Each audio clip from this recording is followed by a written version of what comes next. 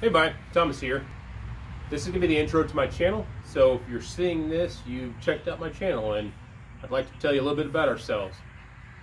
So my name's Thomas. I'm currently in the United States Navy. Uh, I've been in the Navy for a number of years. I'm currently a Lieutenant Commander and I'm stationed down here on the Gulf Coast as the PMR for the EPF class of ship here on the Gulf Coast. Awesome job working new construction, building ships, getting them ready for delivery uh, out to the fleet. So really exciting day job. But in my spare time, I do a lot with this. Uh, our channel is kind of focused around homesteading, farming, tractors, sawmills, stuff like that.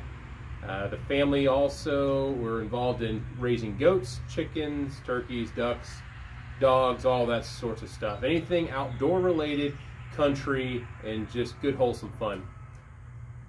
You know, my wife and I, we've got four children of varying ages, and it's just a it's a beautiful lifestyle we live out here in the country. We're not in a city. You know, I've been fortunate enough with the Navy to be moved around all over the world, but really living down here on the Gulf Coast in Mississippi has been one of our most enjoyable locations. It's country, it's not far from where we call home up in Tennessee, and it's just good, wholesome people down here and we just love the area. The, the South uh, has a lot to offer. I know I have some subscribers up north who are uh, standoffish due to the heat and due to the venomous snakes. Uh, they're not that bad, and it's not that bad during the summer.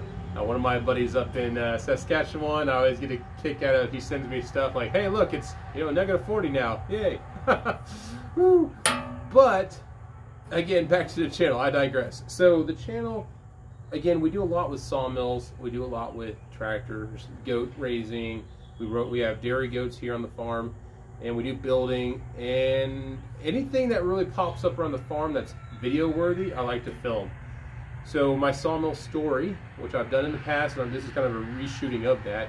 I started off with my Fallen-Loss 1220 uh, back in about 2003 or so.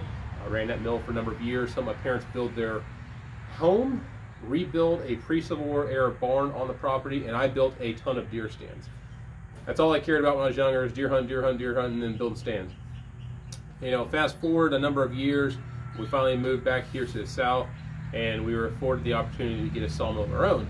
Uh, after purchasing a home, a tractor, a truck, all sorts of things like that, funds were a bit tight, so we started off with a uh, Wood-Mizer LT15 with a diesel.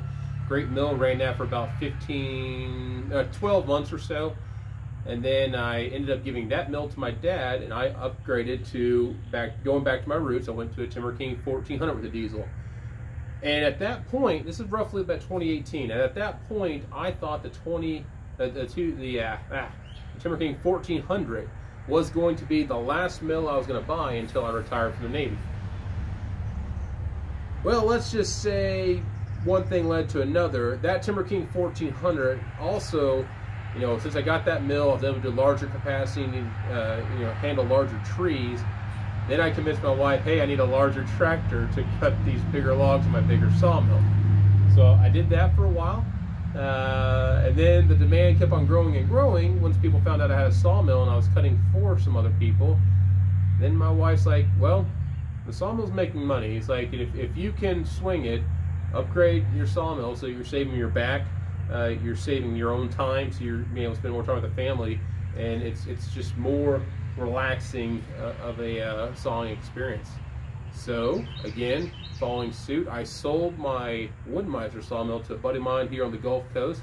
My dad then got my Timber King 1400 mill, and I purchased this Timber King 2000 mill with a diesel. Again, the trend is I'm a diesel guy. I like anything with diesels, especially my sawmills the fuel economy, uh, the power, the, the torque, uh, the longevity of the engine, all those things are great about a diesel. If you want to know more about diesel sawmills, check out some of the other videos. But, you know, long story short, again, I never thought I'd have the ability to own this sawmill uh, at my age. I thought I would have been retired, and this would have been like a retirement, you know, gift to myself. So now I've been cutting with this mill for about a year and a half, and this mill has been phenomenal. I absolutely love this mill. It is literally my dream mill. And here recently, we got another mill to complement this. We got a, a Lucas mill. It's a DSM uh, 23 which is a dedicated slabber mill, and the 23 is a 23 horsepower. So, I hear the kids yelling in the background. You never know what's going to happen here. But uh, the the slabber mill and this mill together, there's really nothing I, I can't handle under 21 foot in length. The slabber mill allows me to cut 76 inches wide. This mill I cut 35 wide, but this right here is a production mill. So I'm turning out wood all the time. In fact, I've got an order right here on the mill. That there's a bird flying around, but I've got an order right here on the mill um, that I'm, I'm sending out hopefully tomorrow afternoon when I get home from work.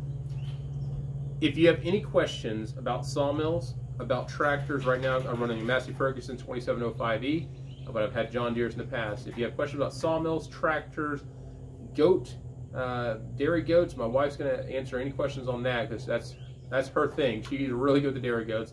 Uh, we milk those goats. We make soap. We do cheese. We're going to start filming some stuff on that this year too.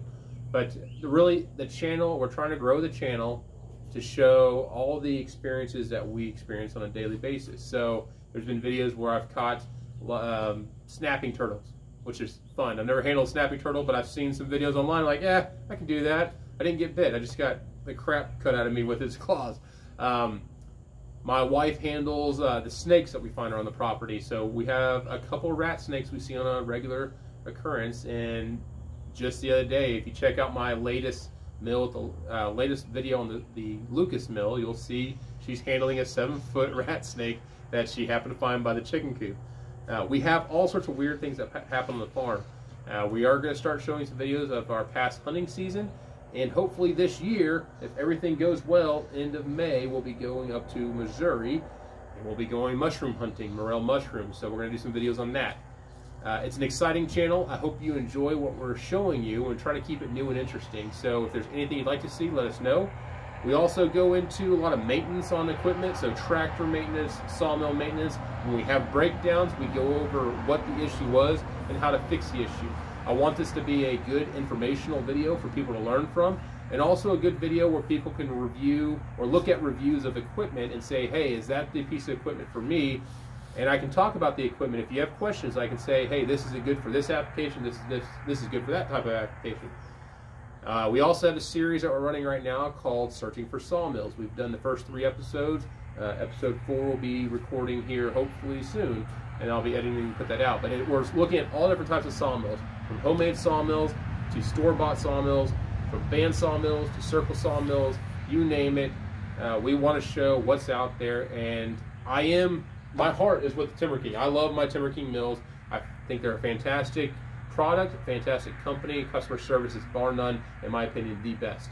But I look at every type of sawmill out there. I've run about six or seven different types of sawmills, so I feel pretty comfortable uh, around a mill and understanding the way that a mill works. So again, informational channel, and I want people to uh, experience uh, kind of what we experience around the farm. But if you have questions or comments, please let us know.